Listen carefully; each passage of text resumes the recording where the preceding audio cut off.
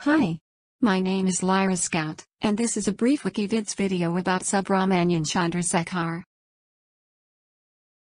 Subrahmanyan Chandrasekhar, October 19, 1910 to August 21, 1995, was an Indian-American astrophysicist who was awarded the 1983 Nobel Prize for Physics with William Fowler for his theoretical studies of the physical processes of importance to the structure and evolution of the stars. His mathematical treatment of stellar evolution yielded many of the best current theoretical models of the later evolutionary stages of massive stars and black holes. The Chandrasekhar limit is named after him.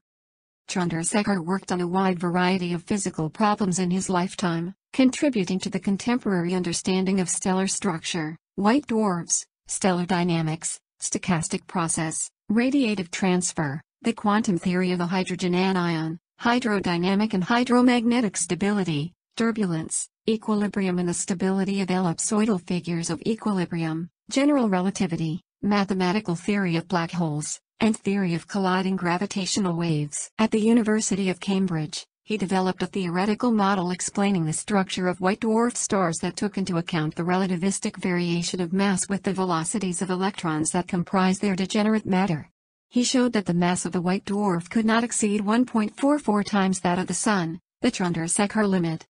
Chandrasekhar revised the models of stellar dynamics first outlined by Jan Oort and others by considering the effects of fluctuating gravitational fields within the Milky Way on stars rotating about the galactic center.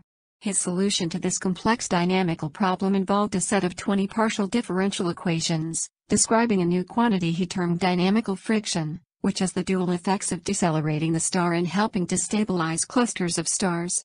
Chandrasekhar extended this analysis to the interstellar medium, showing that clouds of galactic gas and dust are distributed very unevenly.